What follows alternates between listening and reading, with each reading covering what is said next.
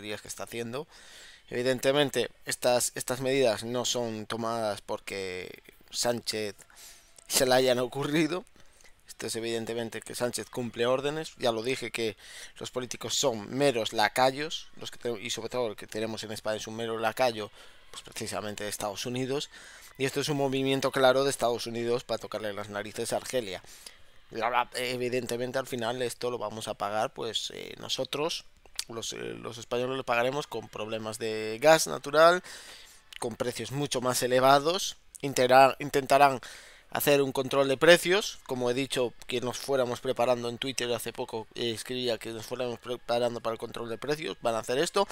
Me van a explicar cómo piensan controlar un problema que no es directamente de demanda, que es de oferta, donde seguimos arrastrando problemas de cadenas de suministro, ahora problemas energéticos, problemas que estuvieron cerrados los, los puertos en, en China y ahora pues eso va a llevar meses que se regularice la situación todas las políticas que llevamos durante décadas y con políticas verdes, etcétera, y me van a, me van a decir a mí cómo eh, piensan controlar los precios con algo que es exógeno a los bancos centrales y a los países, y más una Unión Europea, ahora hablaré del BCE, más una Unión Europea pues que ha decidido pues poner una un tipo de política en el que depende absolutamente todo el exterior. Eh, decía yo eh, Alfonso Pecatielo que el euro no le queda otro camino que ir a, la baja. Y es evidente. Y ahora vamos a ir a ver. Aquí te, ahora vamos a ir a ver lo que ha hecho, lo que ha dicho Lagarde, que no se entera, o no sé en qué mundo está eh, paralelo Lagarde. Pero lo de España, esto es gravísimo. Y esto es pues un señor Sánchez que está pues en, en, otras en otros intereses que no son los intereses de sus propios ciudadanos es una auténtica vergüenza y evidentemente esto lo vamos a pagar seguramente con problemas de, inmigración, problemas energéticos y mucha más eh, inestabilidad. Vamos allá a lo que vamos a ver lo que hizo Lagarde dice que anuncia primera subida de tipos en 11 años y pone fin a la, eh, a la barra libre de dinero Europa. esto no me lo creo. Fijaos lo que os digo. Dice que la primera revisión, es, eh, revisión será, eh, bueno, primera subida será de 25 puntos básicos y no descarta una mayor subida para septiembre. Aumenta también su previsión de inflación en el 2022 del 6,8 y rebaja el crecimiento en 2,8. Sinceramente, me va a explicar a mí Lagarde eh, en una noticia que he conocido hace poco, la Reserva Federal ha tenido que hacer dos swaps en, de divisas en una semana. Le ha tenido que pasar dólares al Banco Central Europeo porque no hay. Cuando hacen estas líneas de swaps es porque no hay liquidez. Y es lo que pasó en la pandemia, cuando la repocalipsis que se secó y pues la, Reserva Federal para, evitar que se, eh, se, eh, se la separase la circulación de crédito a nivel mundial, pues hizo pues líneas de swaps, eh, por ejemplo, al Banco Central Europeo, que es una línea de swap, pues intercambia eh, dólares y en este caso el, Banco Central Europeo, eh, la Reserva Federal y euros, el Banco Central Europeo, a, cambio de una tasa fija. una tasa fija que suele ser una tasa que suele estar por lo que digo en 1,0 algo, una, un poquito más elevada de lo que de lo que están los tipos de interés ahora mismo. Y lo que ha hecho pues dos ha tenido que hacer dos líneas de swap en una semana el Banco Central Europeo eh, evidentemente pero quién se cree estas cosas que nos cuenta la señorita Lagarde vamos a leer un poquito lo que dice dice que el Banco Central Europeo ha puesto, eh, Europeo ha puesto punto y final a una era que comenzó con la crisis de la moneda común hace una década y que paradójicamente termina con la, con la incertidumbre sobre el futuro de algunos países que ya estuvieron que ya entonces estuvieron al límite, incluido España. A esa incertidumbre que se disparó en 2012 las primas de riesgo y puso frente al mismo a varios países periféricos, la ha bautizado como una fragmentación. Bueno, que vale, estas historias que nos cuenta que no, no, nos, interesa.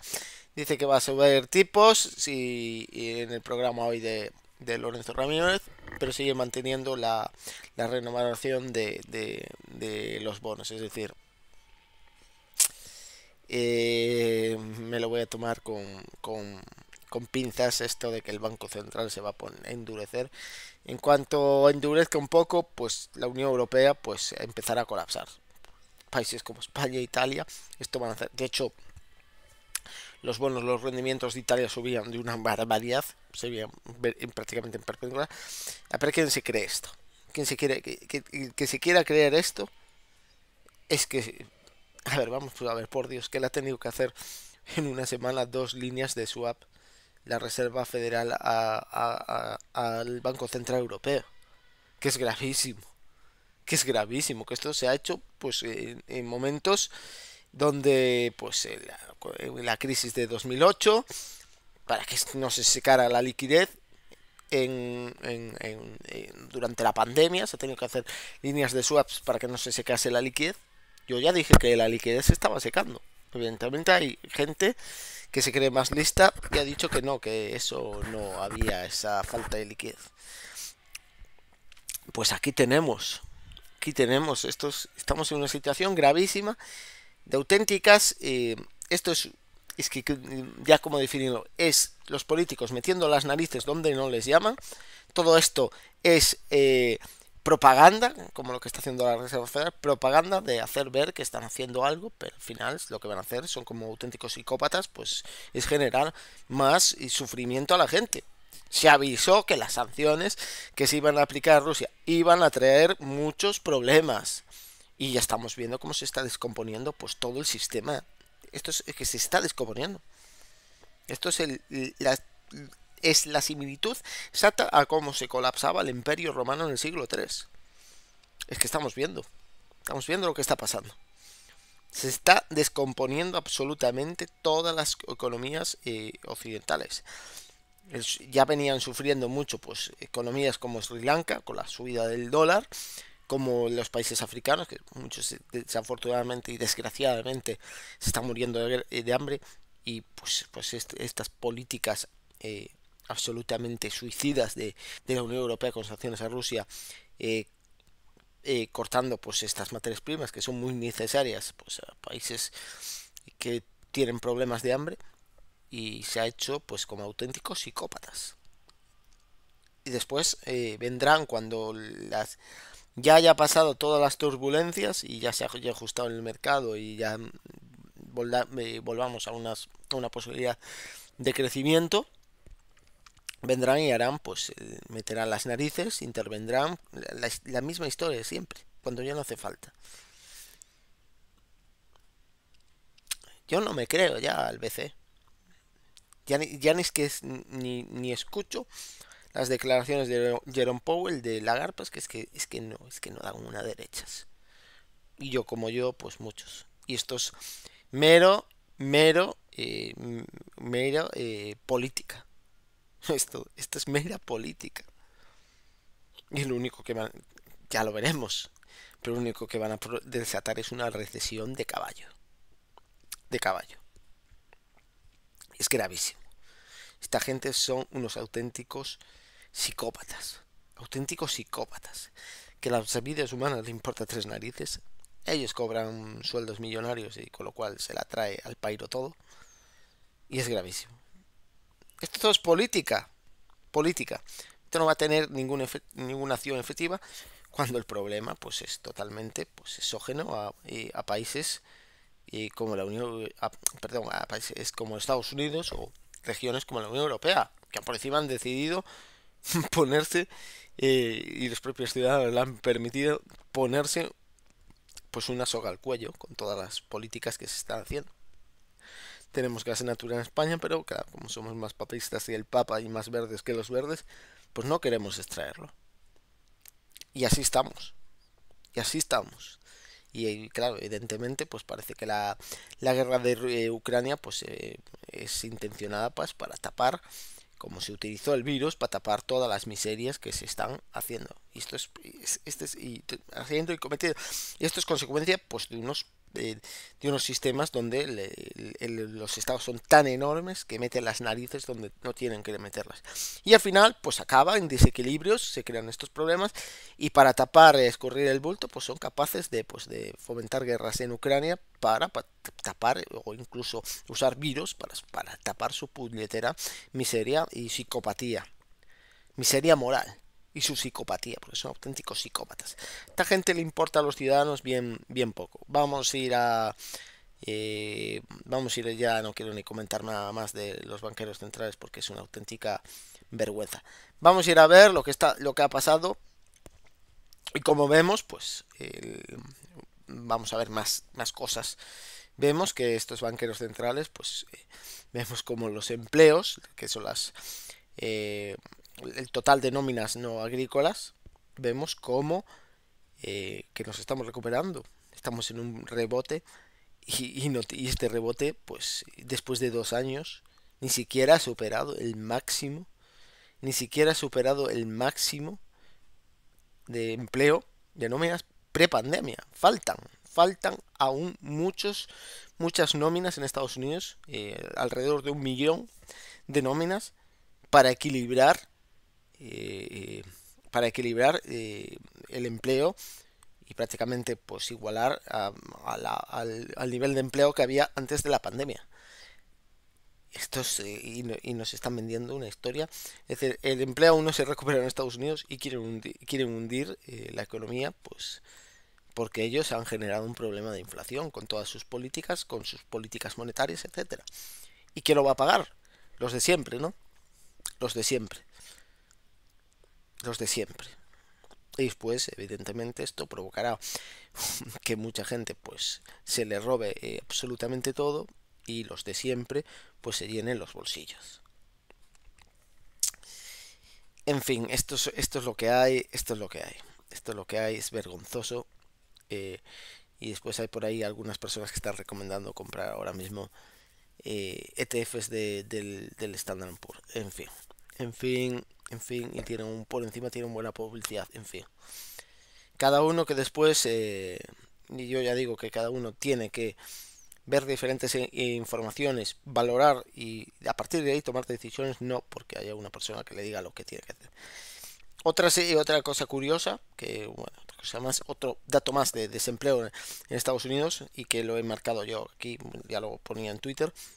Fíjense cómo eh, la caída de la tasa de, desempleo, pues eh, posiblemente ya está una zona donde cuando llega a estos niveles, pues esa tasa eh, toca fondo y empieza a, pues precisamente a subir, a subir porque llega un momento que la economía pues no puede eh, no puede generar más empleos y empieza a destruirlos. Y pues con este desplome que van a provocar de los activos pues posiblemente empezamos a ver pues Em, se ha visto en la fuerza laboral como ha caído, empiezan a entrar gente porque esa, esa sensación de, riqueza ficticia va a desaparecer de golpe. Los planes 401k, que son como planes de pensiones privados, que, que eso eh, no es directamente como un plan de pensión que tenemos aquí en España, sino aquí que allí son el, propio eh, el propio empresario eh, no tiene la obligación, sino que es el, propio, el propio trabajador el que y que se lo propone al empresario para hacer estos planes de planes de ahorro a largo plazo de jubilación. Y muchos de ellos se invierten pues en acciones etcétera. Y un desplome del mercado pues va a hacer que muchos de, de los ahorros de, eh, de, esos ahorros de trabajadores se volaticen y tengan que ir a buscar al mercado laboral de repente. Y eso provoque una entrada una subida bastante bestia de, pues, de la tasa de desempleo porque eh, como, como he comentado los problemas de oferta eh, no los pueden controlar los bancos centrales, que no pueden imprimir barriles de petróleo, por ejemplo. Y parece que el tema del petróleo vamos a ir para largo. Eh, no sé cómo piensan controlar los precios. A ver, no sé qué piensan. Sube, porque suban muchos tipos de interés. Lo que van a hacer es, por precisamente porque estamos en una trampa de liquidez. Y nos hemos metido una trampa de liquidez en Europa gravísima ahora mismo no hay manera de salir. Cuando hay una trampa de liquidez no se puede salir porque hagas lo que hagas. Vas a reventar absolutamente algo, te lo vas a cargar. Y ahora la decisión es de ver cómo eh, tratamos de que vamos a reventar. Si lo vamos a hacer eh, inmediato y que sea rápido, o vamos a hacer en plan agonía a largo plazo, como yo creo que va a ser, porque evidentemente ya lo veréis, ya lo veréis. Ya lo decía Michael Pento, lo ha dicho, pues lo están diciendo ahora muchos que eh, Ray Dalio también, que la Reserva Federal pues coincide eh, hacia 2000, eh, finales de 2023-2024, posiblemente cuando tengamos la recesión va a empezar a bajar tipos y otra vez mega gigantesco QE, es evidente. Esta gente no sabe, no sabe hacer absolutamente más otra cosa más que esa. Tampoco pueden hacer mucho más porque eh, la independencia de, los, del, del, presidente de la Reserva Federal es cero, es literalmente cero. Su único mandato es mm, favorecer al gobierno de turno. De hecho, pues esto que estamos viendo es más que una medida más cosmética para evitar que los precios eh, se disparen tanto que es lo que cabrea a la gente, los precios se disparen tanto y no socave tus posibilidades de reelección que es lo que quiere lo que quiere Biden. A esta gente le importa tres le importa absolutamente tres pimientos eh, le, totalmente le importa tres pimientos si la gente sufre o deja de sufrir o se destruye una economía ellos lo que quieren ser reelegidos y, no hay más. Y de, ahí nos los quitamos. Y vemos cómo pues el, lo vemos en este que he marcado en este recuadro como estamos en unos niveles que pues desde aquí lo más probable es que la tasa de desempleo empiece a elevarse otra vez. Empieza a elevarse otra vez en Estados Unidos otra situación más que, las consecuencias de las tensiones ya financieras que estamos viendo y de, liquidez pues es el Euribor disparándose pero prácticamente en vertical en, en parabólico indicando pues que los problemas de confianza entre los bancos están empezando a acelerar. Se está empezando a acelerar, esto ya va a ser una crisis de liquidez en toda regla, no tardando mucho, y vemos como el Euribor ya está pues encima de un 6% y aproximadamente una velocidad realmente brutal a un 1%.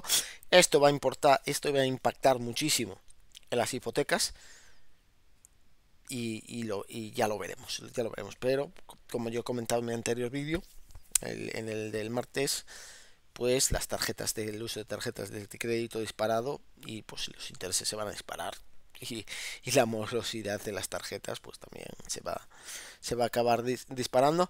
Estamos viendo ya pues que la Reserva Federal ya ha iniciado el QT y como decía eh, eh, más un QT de reducción de reservas por acumulación de, garantías vale que es lo que está pasando en el mercado está eh, la Reserva Federal está empujando a que se vea que hay un riesgo grave en el mercado de que van a hacer caer eh, los activos evidentemente pues empieza las protecciones con búsqueda de garantías de, de, libres de riesgo para intentar pues eh, esos, ese riesgo que viene pues tenerlo eh, bien controlado bien controlado.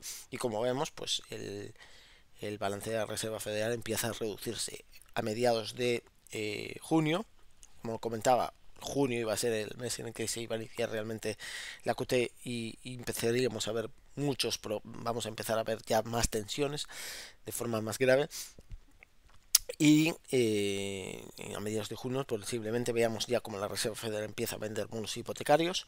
Eh, eso algo que supuestamente eso no puede pasar en un mercado, según alguno, un mercado monetario, que no se utilizan bonos. Bueno, en fin la gente no mucha gente no tiene ni idea de, dónde está. Y posiblemente no venda directamente valores del tesoro bonos y lo que haga es dejarlos madurar. Es decir que pues, llega el, periodo máximo de, duración del bono y ese bono pues ya no se renueva. Es algo que el Banco Central Europeo como comentaba pues una vez maduren los bonos sí va a renovarlos. Esto es un, es, este es un cachondeo esto es un cachondeo. Todo medidas absolutamente políticas que nos, no, están aquí para, para, eh, para apuntalar la economía ni para mejorar. Es que les importamos tres narices. Tres narices. Importan sus tres amigos de, de Wall Street, los Warren Buffett de la vida, etcétera, etcétera. Eso es lo que importa. ¿no? Alguno eh, aún se extrañará porque digo eso de Warren Buffett, porque es que Warren Buffett siempre se ha favorecido pues de estar pegadito a la Reserva Federal, de hecho es, ha sido y es consejero, y queda todo dicho. En fin, eh, aquí pues las leyendas las agrandamos según como nos da la gana. Y como vemos, pues las reservas de los bancos, pues totalmente, pues eh, se han se está empezando a caer caer lo que era evidente. Lo que era evidente se está reduciendo las reservas, que las reservas es un, es un tipo de, digamos, de dinero que es inerte, pues que no se puede prácticamente hacer nada con él. Y evidentemente, pues la Reserva Federal te paga un, cierto interés por tenerlo estacionado en el balance de la Reserva Federal y poco más, no se puede hacer mucho más. No se puede hacer mucho más. Eh, por eso, ante el riesgo crediticio, lo que se quiere es reducir cantidad de, reservas, con lo cual se reduce la liquidez eh, y se busca pues aumentar las garantías libres de riesgo que te protejan pues contra un riesgo que está por venir.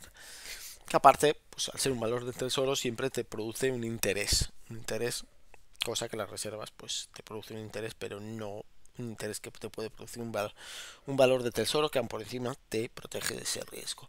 Y como vemos, pues aquí tenemos eh, eh, tenemos pues ese, ese esa situación de pues de que el mercado pues está cubriendo el riesgo y esto es, es, lo que está llevo, eh, lo que he mostrado en el anterior vídeo eh, lo que he mostrado en, en, lo que llevo hablando en todos mis vídeos y comentando y bueno pues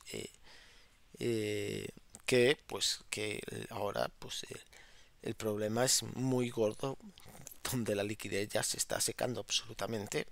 Y, el problema viene por el lado, como decía Jeff Schneider en, un vídeo que hizo, que he visto hace poco de él, decía, y evidentemente es algo que yo vengo diciendo, y, con lo que estoy de acuerdo que hay un problema pues de escasez de garantías. Y el problema está en el lado de las garantías. Y cuando hay un problema en el lado de las garantías es porque hay problemas gordos financieros. Bueno hasta aquí el vídeo de hoy. Recordar que el sábado habrá directo a las 7 de la tarde con el tuitero eh, a ver Asge con H FX Asge FX vale que bueno, es un operador de, Forex y ah, yo creo que va a ser interesante porque ha trabajado en, fondos de inversión, etcétera. Ya os contará él eh, la historia, ya le podréis preguntar muchas eh, le podréis preguntar muchas cosas. Asg, FX, vale. Eh, le podréis preguntar muchas cosas, a mí también, lo que queráis.